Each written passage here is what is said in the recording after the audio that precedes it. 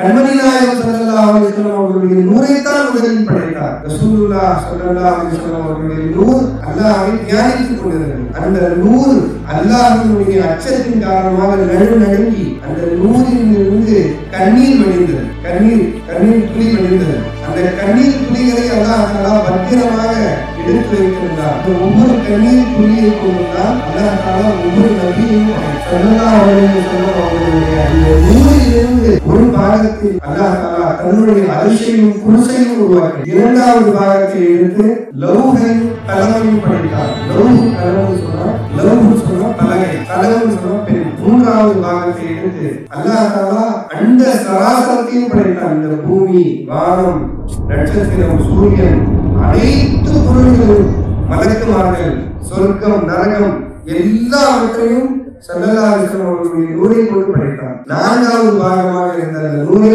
சல்லல்லாஹிஸ்லம் அவர்கள் பிறந்து இந்த உலகத்திற்கு வரும்போது அவர்களுக்கு கொடுத்திருக்காங்க எனவே சல்லல்லாஹிஸ்லம் அவர்கள் பிறந்தார்கள்.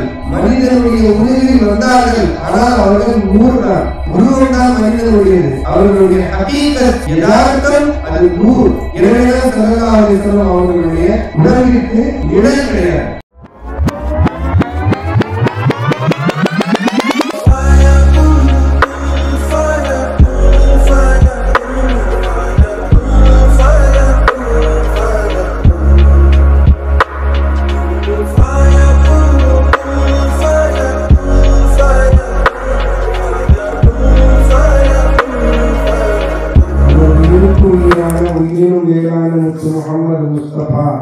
சொல்லலாம் அலைஹி வஸல்லம் தன்னுடைய சிறந்த உமத்தில் பிறக்க வைத்திருக்கின்றான் அல்ஹம்துலில்லாஹி அல்லாஹ் அன்பார்ந்த சகோதரர்களே பெரியவர்களே தாய்மார்களே அல்லாஹ் ஜல்லஷானஹு தஆலா இந்த உலகத்தை படைத்து இந்த உலகத்தில் மனிதரை வாழ்வதற்காக அனுப்புவதற்கு முன்பு என்ன நடந்தது என்பதை முதலில் நாம் விலகிக் கொள்ள வேண்டும். அல்லாஹ் படைப்பை படைக்க நாடிய உடனேயே முதல் முதலாக படைத்த படைப்பு இந்த உலகம் அல்ல. நாம் பார்த்து கொண்டிருக்கின்றோமே நம்முடைய கண்களால் பார்க்கக்கூடிய இந்த உலகம் அல்லாமல் படைக்கப்பட்டது எப்பொழுது? அல்லாஹ் முதலில் இந்த உலகத்தை படைக்கவில்லை. அதை முதலில் நாம் விலக வேண்டும். ஆனால் நாம் பிறந்த பிறகு பார்ப்பது இந்த உலகத்தை மட்டும்தான் எனவேதான் இந்த உலகத்தில் நாம் என்ன பார்க்கின்றோமோ அதை பற்றிய செய்திகளை உள்ளத்தில் நாம் ஊர்ஜிதப்படுத்துகின்றோம் உலக மக்களை பார்க்கின்றோம். இதர வஸ்துக்களை பார்த்து நாம் நம்முடைய ஈமானை பலவீனப்படுத்திக் கொண்டிருக்கின்றோம். அல்லாஹாலா முதன் முதலாக படைத்த படைப்பு எது? ஒரு ஹரிஸ் ஸல்லல்லாஹு அலைஹி வஸல்லம் அவர்கள் சென்று கொண்டிருக்கின்றார்கள். அவர்களுடன் ஜாபிர் ரலியல்லாஹு அன்ஹு என்கிற ஒரு சஹாபி அருகாமல் சென்று கொண்டிருக்கின்றார்கள். அப்பொழுது கண்மணி நாயகம் ஸல்லல்லாஹு அலைஹி வஸல்லம் அவர்கள் ஜாபிர் ரலியல்லாஹு அன்ஹு அவர்களிடத்தில் ஒரு கேள்வி கேட்கிறார்கள்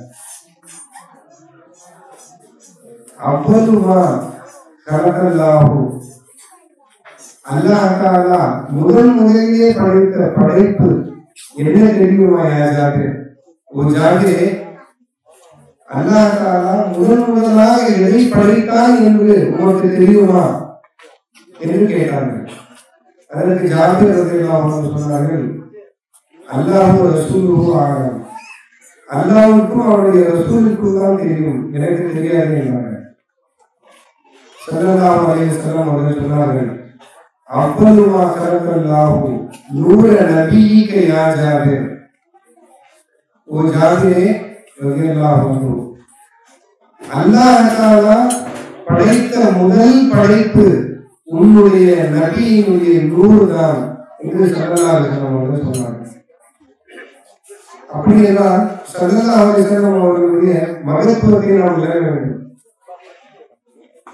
அல்லாஹ் ஜல்லஷானு முதல் முதலாக படைத்த படைப்பு கண்மணி நாயகன் சல்லா அலுவலம் அவர்களுடைய ஒளி நூல். அதற்கு பிறகு அந்த நூலை தன்னுடைய கண்காணிப்பிலேயே வைத்திருந்தார். அந்த நேரத்திலே இந்த உலகம் கிடையாது சொர்க்கம் நரகம் கிடையாது எந்த ஒரு வஸ்துவும் கிடையாது. அல்லாஹ் இருந்தால் அவன் படைத்த சல்லல்லாஹுலேஸ்வரம் அவர்களுடைய நூல் இருந்தது அவ்வளவுதான். அது ஒரு காலம்.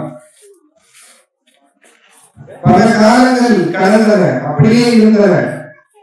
சல்லல்லாஹுலேஸ்வரம் அவர்களுடைய நூல் அல்லாவுடைய கண்காணிப்பிலே இருந்து வந்தது அப்பொழுது அந்த நூலை கொண்டு அல்லாஹ் தாலா தன்னை விட்டு செய்ய வைத்தார். அந்த நூல் வெறுமனே சும்மா இல்லை. அல்லாஹை விட்டு செய்து கொண்டிருந்தது. அல்லாஹை நினைத்துக் கொண்டிருந்தது. அஸ்மாவுல் ஹுஸ்னா என்று நாம் கேள்விப்பட்டிருப்போம். அல்லாஹினுடைய திருநாமங்கள். அல்லாஹ் தாலா ரஹ்மான் ரஹீம். மலிக் குத்தூஸ் அப்படின்னு தொண்ணூத்தி ஒன்பது பேர்கள் நாம் கேள்விப்பட்டிருப்போம் அந்த ஒவ்வொரு நாமத்தையும் சொல்லி சொல்லி அந்த நூறு ரசூலுல்லா ஸல்லல்லாஹு அலைஹி அவர்களுடைய நூறு அல்லாஹ்வை தியானித்துக் தியானித்துக் கொண்டே இருக்கும் பொழுது கஹார் என்கிற பெயரை அது தியானம் செய்தது. அல்லாஹ்வுக்கு கஹார் என்கிற ஒரு பெயர் இருக்கின்றது ஒரு இஸ்மு அந்த நாமத்துக்கு என்ன அர்த்தம் அடக்கி ஆளக்கூடியவன் என்ற அர்த்தம். அதாவது அல்லாஹ் தாலா ஃபுல் கண்ட்ரோல் அல்லா கையில இருக்கு அப்படின்னு அர்த்தம். அல்லாவை மீறி வேறு யாருக்கும் எந்த சக்தியும் கிடையாது. அல்லாவுடைய கையில் தான் அனைத்து சக்தியும் இருக்கின்றது.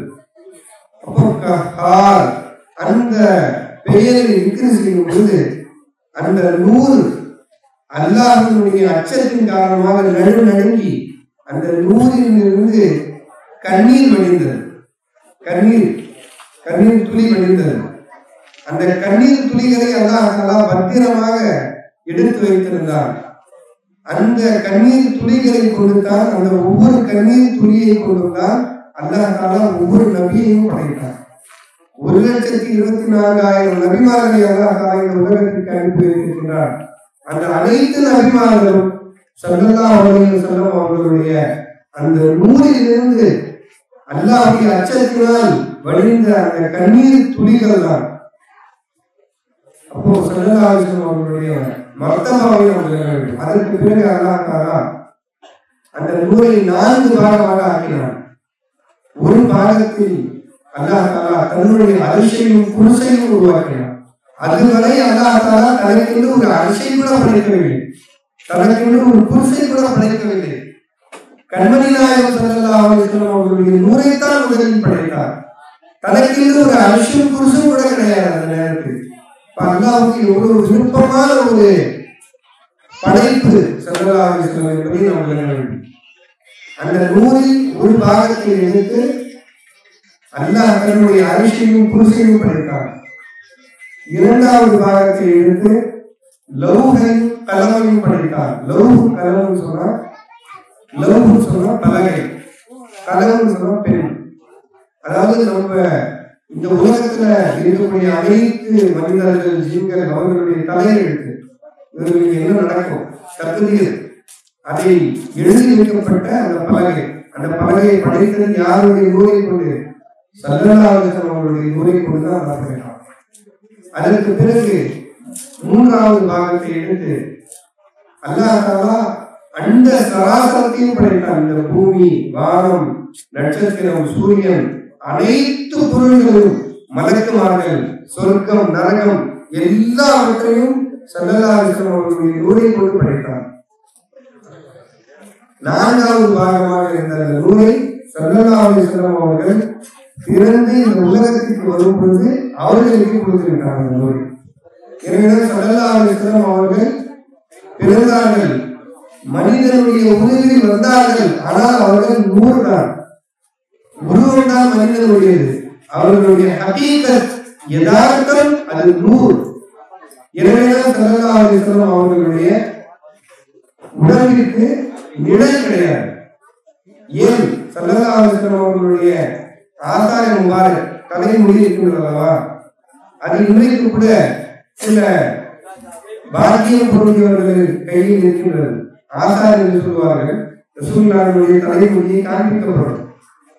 அந்த முடிக்கு கூட நிழல் விழுவது கிடையாது. சூரியன் அது மீது பட்டால் அது இது நிழல் கிடையாது. ஏன்?